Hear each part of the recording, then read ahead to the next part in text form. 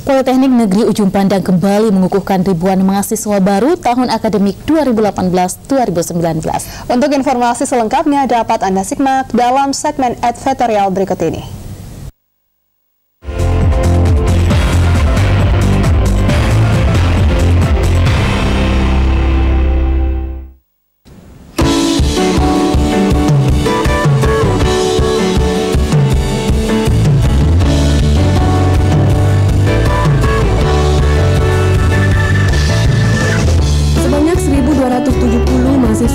Negeri Ujung Pandang PNUP tahun akademik 2018-2019 dikukuhkan melalui rapat terbuka luar biasa Senat Politeknik Negeri Ujung Pandang oleh Direktur PNUP Dr. Insinyur Hamsa Yusuf MS di lapangan Merdeka Kampus 1 PNUP.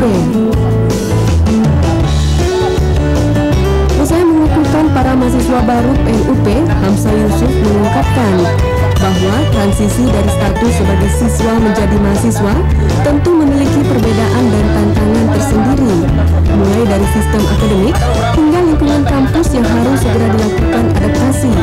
Untuk itu, pengenalan kehidupan kampus penting dilakukan bagi mahasiswa baru guna memperkenalkan bagaimana sistem pendidikan tinggi, cara belajar mandiri, dan suasana di kampus baru agar mereka segera menyesuaikan diri karena setiap perguruan tinggi memiliki ciri khas masing-masing yang harus diketahui oleh setiap mahasiswa.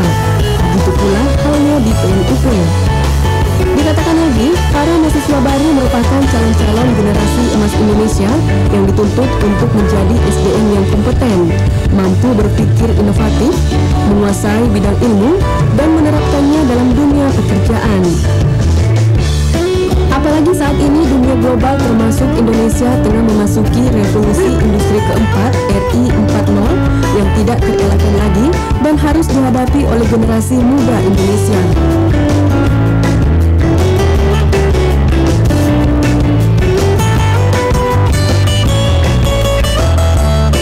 Program kami untuk meningkatkan kompetensi dan kualitas mahasiswa, setiap alumni itu kita bekali mereka dengan namanya uh, workshop untuk mendapatkan sertifikasi pendamping ijazah.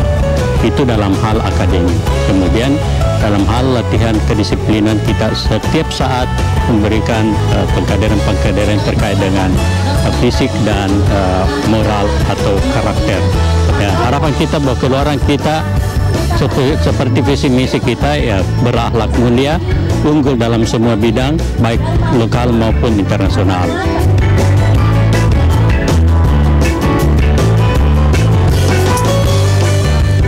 Panitia PKKMB 2018 PNUP Muhammad Iqbal MSCAK mengatakan bahwa PKKMB merupakan kegiatan penting yang wajib diikuti oleh setiap mahasiswa baru.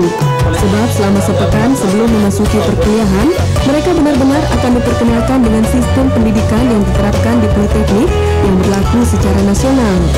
Dalam kegiatan ini disajikan sejumlah materi dan simulasi yang relevan dalam memperkenalkan kemahasiswaan guna membantu transformasi karakter siswa menjadi mahasiswa sehingga dapat menciptakan karakter mahasiswa di mana mereka harus memiliki sifat kritis, mandiri, dan ilmiah.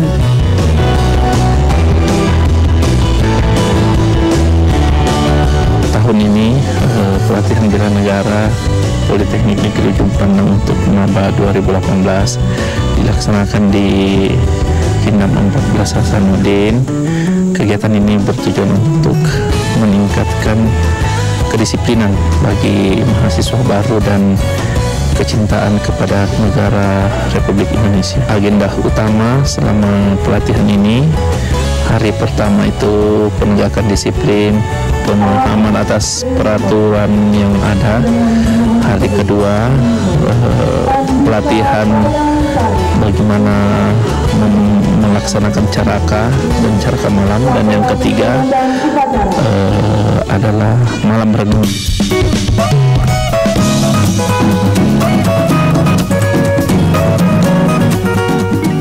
Ria Novita, salah satu mahasiswa baru mengakui orientasi yang digelar PNUP ini mampu membuat mahasiswa baru dapat beradaptasi dengan baik sehingga dalam menimba ilmu dan membekali diri di kampus dapat berjalan dengan mulus.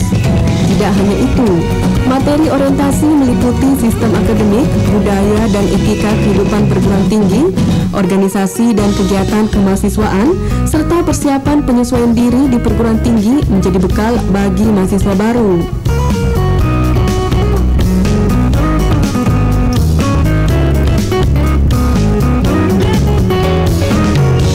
Hal-hal yang sudah dapat diambil uh, mengenai bela negara ini tuh terasa banyak sekali. Yang pertama mengenai bagaimana kita harus disiplin, bagaimana kita harus mengatur waktu, dan yang kedua bagaimana kita harus menghargai, menghargai antara sesama, menghargai antara orang lain. Meskipun saya dan teman-teman saya masih belum kenal sama sekali, tapi kita dihargai untuk mengharap. Saya berharap ke depannya untuk mental saya terlatih, wawasan saya terbuka, dan saya lebih dapat untuk mengaplikasikan langsung ilmu-ilmu yang telah saya dapatkan di, di sini.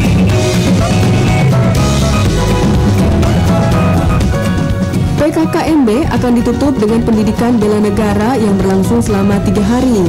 Melalui pendidikan bela negara, diharapkan para mahasiswa baru dapat lebih meningkatkan kedisiplinan, persatuan dan kecintaan pada alma mater dan negara kesatuan Republik Indonesia, serta menghilangkan segala bentuk rasa fanatisme golongan, jurusan, dan program studi. Mustami Mustari, Favorit Sulsel, mewartakan.